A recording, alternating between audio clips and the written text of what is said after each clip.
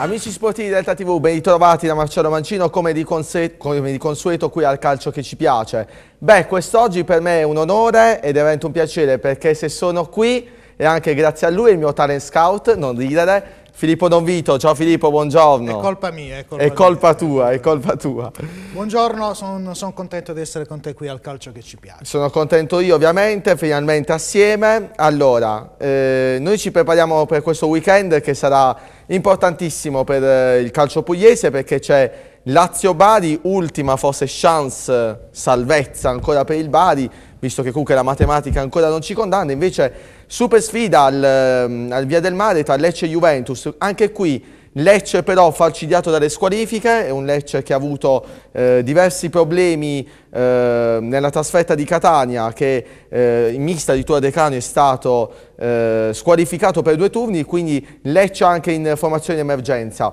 Eh, mi rivolgo agli amici da casa chiedendovi subito, questi diciamo due temi quest'oggi, ai tifosi del Bari chiedo ma ci credete ancora nella salvezza e veramente domenica si può andare a fare il primo risultato in trasferta positivo dopo il derby eh, vinto a Lecce appunto all'Olimpico con la Lazio. E invece per eh, i tifosi del Lecce chiedo eh, appunto è possibile battere Juventus nonostante tutte queste assenze e tutte queste problematiche delle ultime due settimane della squadra salentina? Il numero per interagire con noi è lo 080 69 77 211 eh, Filippo, allora, tu ovviamente come sempre parli nella tua trasmissione il, um, la mattina il, in, uh, prima radio, l'altra radio. radio. la trasmissione prima mattina. Ecco. E sì, abbiamo una pagina dedicata, dedicata al dedi calcio, in modo particolare al Bari. Ecco, cioè. e quindi praticamente tu affronti sempre comunque le, le tematiche del Bari. Come la vedi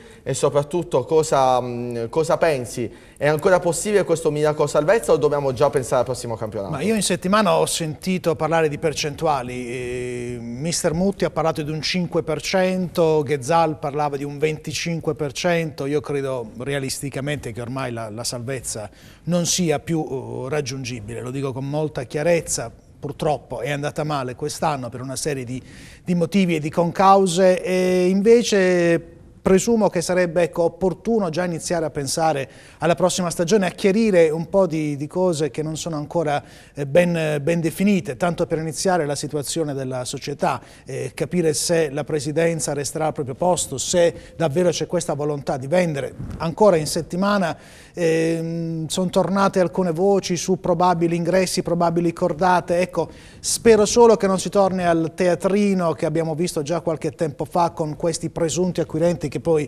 svaniscono nel nulla. Quindi iniziare a capire quello che sarà il futuro del Bari e poi vedremo. Io prima di continuare il dibattito con Filippo voglio salutare come al solito i nostri sponsor, quindi voglio salutare Masseria Torre Pietra, Sala Ricevimenti Hotel, uscita a Castellana Grotte Complanare San Marco, ecco qua dalla regia che ringrazio, eh, www.masseriatorrepietra.it il sito web, Fiat Lux Italia, società di distribuzione nazionale di lampade a risparmio energetico, sito web www.fiatluxitalia.com. A seguire il torneo Gaetano Scilea e l'Oxen, Centro Sportivo Educazione Nazionale, sito web xenbadi.it. Eh, come al solito voglio salutare gli amici della rete, eh, quindi siamo in eh, streaming su tifosidelbadi.com e voglio salutare anche gli amici di amobadi.it, un altro sito web. Presto avremo anche il direttore della testata qui nei nostri studi. Eh, Filippo, io mm -hmm. ti volevo fare una domanda mm, eh, mm. sul Bari abbastanza specifica. In settimana si è parlato molto appunto del discorso societario. Eh, ci sono già eh, nuovi scenari, c'è stata un'intervista in esclusiva su tuttobari.com, saluto Andrea Di Paolo, il direttore, eh, dove il direttore generale del Bari ehm, ha detto a chiare lettere che ci sono nuovi eh, investitori che potrebbero entrare a far parte della società del Bari con Mattarese però sempre Presidente, come la vedi questa possibilità? La vedo, la vedo, difficile perché non so quanti sono disposti ad entrare in un'azienda in cui avranno comunque una quota di minoranza, perché se, se, Vincenzo Mattarese resterà al suo posto, probabilmente resterà al suo posto con un 51%, non, non credo sia disposto a cedere la maggioranza delle, delle azioni. Quindi a quel punto non so, io credo che da parte del Presidente ci debba essere una maggiore chiarezza, insomma, o si va avanti con lui oppure se davvero è giunto il, il, suo, è giunto il finale di questa lunga storia con Matarrese qui a Bari, beh, che lo si dica a chiare lettere e che ci sia da parte della città, degli imprenditori nazionali, internazionali, insomma una valutazione serena di questa situazione e poi Ecco, vedremo. ma proprio l'argomento Matarrese secondo me è importante perché ehm, molti tifosi di, sostengono che eh, senza Matarese il, il calcio a Bari finisce. Secondo te è vero o, mm, no, io non, ecco. non, condivido questo tipo di, di pensiero perché eh, in, tante, in, tante, città, tante società hanno cambiato presidente, a Bologna abbiamo visto quello che è successo, cioè, non capisco perché solo a Bari non, non, sia possibile pensare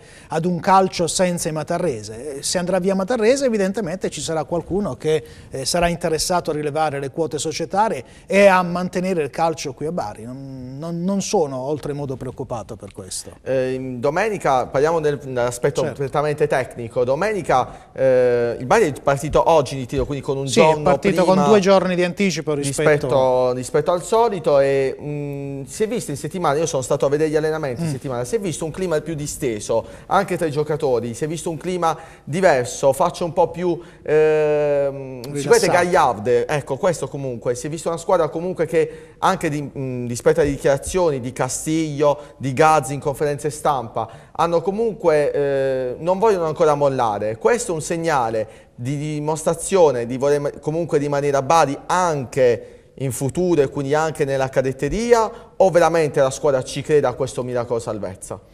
Beh, quello che accadrà con, eh, con un'eventuale retrocessione a livello di, di, di, giocatori, beh questo è davvero difficile dirlo ora, non so chi resterà a Bari a fare una, una probabile Serie B. Beh, i giocatori ci devono credere, ci mancherebbe altro, loro sono dei professionisti, quindi devono lottare sino all'ultimo minuto, fino a che almeno la matematica non ci condannerà, che poi, se facendo facendo un'analisi numerica direi eh, ci rendiamo conto che per salvarci dobbiamo vincere otto partite di seguito e pareggiarne una perché credo che servano circa 25 punti quindi sono otto vittorie e un pareggio, un pareggio. E, e, lì poi entriamo in un altro ambito in cui sicuramente diventa difficile poter avere delle certezze, ecco perché dicevo la vedo dura. Sul piano tecnico potrebbero giocare comunque i nuovi arrivi, sia Codrea che USA e Klepp potrebbero partire dal eh, primo minuto con un modulo 4-3-1-2 o 4-3-3. O 4-3-3. Io, mh, se tu condividi, penso che il Bari in questo momento dovrebbe giocare col 4-3-1-2 perché comunque abbiamo eh, Codria che potrebbe giocare basso e Almiron finalmente potrebbe giocare più alto. Quindi eh, ma credo, credo, che invece Mutti voglia far giocare Bentivoglio come vertice alto del, del rombo di centrocampo.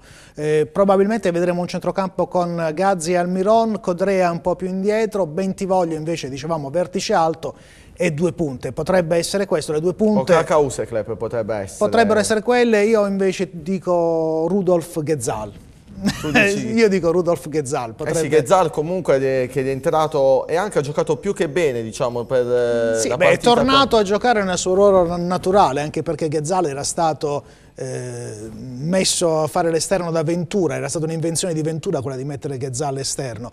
Eh, facendo la seconda punta invece è tornato, è tornato nel suo ruolo naturale. Invece parlando del Lecce, il Lecce va appunto affronta una Juventus rinfrancata dalla vittoria eh, con l'Inter, con questo Matri, autore di tre gol in tre partite, eh, una Juve che si vuole rilanciare assolutamente al quarto posto, ma il Lecce non può perdere nuovamente perché eh, la sconfitta con, eh, eh, col Catania ha lasciato comunque eh, dei strascichi importanti, eh, quattro giocatori che erano in diffida quindi salteranno la Juventus, mister Decanio squalificato, beh chi ha visto la partita di Catania ha potuto vedere comunque dei errori arbitrali così come, so, come, sì, come eh, abbiamo visto al San Nicola. Certo, no, a proposito di errori arbitrali, vengo subito a Lecce, dobbiamo dire che la partita di domenica sarà affidata al signor Pierpaoli, Lazio-Bari. E Pierpaoli non è un, un, arbitro che fino a questo punto diciamo, è, è, stato molto compatibile con le nostre partite, ricorderete tutti quello che è accaduto a Marassi nella partita Sampdoria-Bari, Pierpaoli prima diede il rigore alla Sampdoria e non rigore molto generoso. Poi diciamo l'espulsione di Rossi, quindi è stato un arbitro che ci ha creato qualche difficoltà, speriamo vada meglio. Per quello che riguarda il Lecce, beh, eh, sai il Lecce in casa è fortissimo secondo me, ha avuto giusto quell'incidente incidente di percorso proprio contro il Bari. Per il resto è una formazione che in casa può, può far punti con tutti, anche con la Juventus, secondo me è una partita da tripla 1x2, perché la Juve è una squadra particolare, è vero, ha battuto l'Inter, però non ha strameritato contro l'Inter. se To avesse fatto gol, anziché prendere la traversa, finiva pari, o, vabbè, nel calcio comunque è inutile parlare di sedima, eh, però è una partita aperta, io credo che la, la, la, il Lecce se la potrà giocare sino in fondo. Invece in prima divisione chiedo quindi alla regia di, di effettuare il collegamento con la... Eccolo qua, perfetto, ma basta chiederlo alla regia. Abbiamo una regia eccezionale. Abbiamo una regia eccezionale.